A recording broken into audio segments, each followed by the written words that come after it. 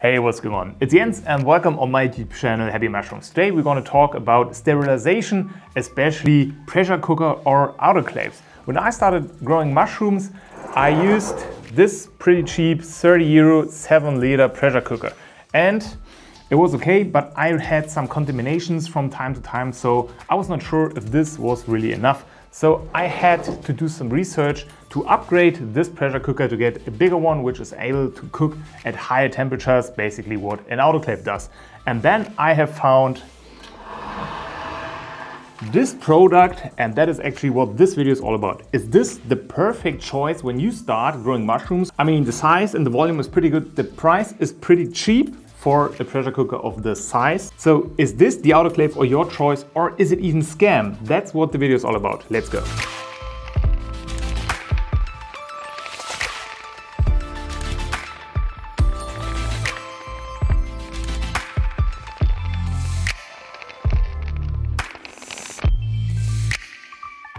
Okay, in the beginning, I actually wanted always an all-American pressure cooker, which is of high quality. But the shipping to Germany is 200 euros, so an all-American pressure cooker is not really a choice. If the delivery to your country is cheaper, I really do recommend to have a look on those pressure cookers. If you're in Europe like me, the shipping cost is so high that we have to look for alternatives. This is a product of China and what made it so interesting is that the delivery was free. Now let's take a closer look on the specs, on the quality and how this is actually working. It does have an included heating element which is pretty strong with 2000 watts, so the sterilization temperature is reached pretty fast, which is definitely a plus. But what then? When the temperature is reached, it does not stop. There is no control at all. It keeps heating until the pressure relief valves release all the hot air. And that is the first really big downside of this product because there's no control at all. I mean, releasing air over hours is not really an option, right? So I had to look for a solution by myself. And that is using a timer like this.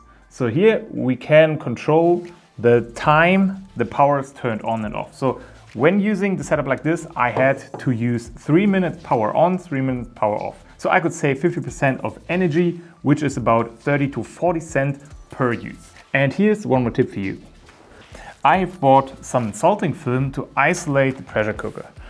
With this additional isolation, I could save about 80 to 90% of energy. That means that I turn on the power for one minute and then turn off for five and six minutes. And with the isolation, it just takes nine minutes until the sterilization temperature of 121 degree at 15 psi is reached. I've spent 180 euro for the pressure cooker and an additional 10 euro for the timer. So this could be a good solution for under 200 euro. At the moment it costs about 220 euros, so the price went up a little.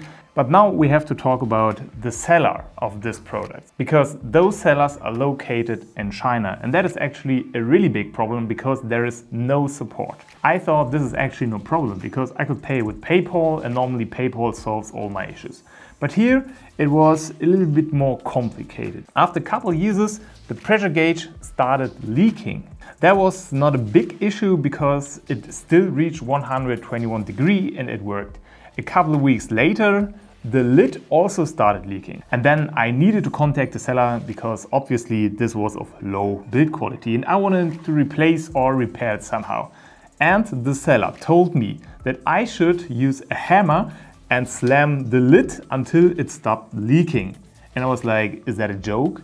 I, I don't yeah, it was ridiculous. So I told him that I want him to send repair parts or replace it.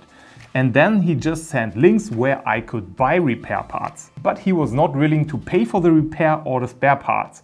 So I had to contact PayPal. And after about six weeks of writing with the seller and PayPal, the case was closed with the solution that I have to send the broken autoclave back to the seller. And that's what made me really upset because I should pay 60 euro for a broken product to send back to China where they put it into the garbage. In the meantime, the electrical parts also broke. The heating did not work and it was leaking. It was a total disaster. Maybe I will throw it away, maybe I try to repair it by myself.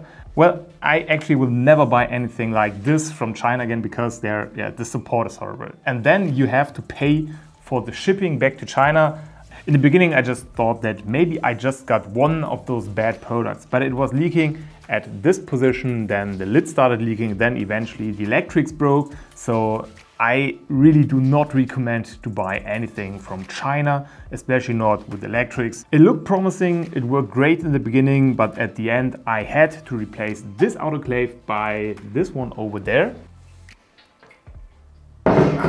So I got another upgrade. This one here works pretty good. I have it for like, yeah, also two or three months. So I will keep using this and review it in one of the future videos. So if you enjoyed the video and the review about the autoclave from China and the upcoming video about this higher quality version, I really appreciate if you subscribe to not miss any future videos. On this channel you can find a lot of helpful information when you try to grow mushrooms at home and also some nice time lapse of mushrooms growing. Thanks for watching, have a good day and hopefully see you in the next.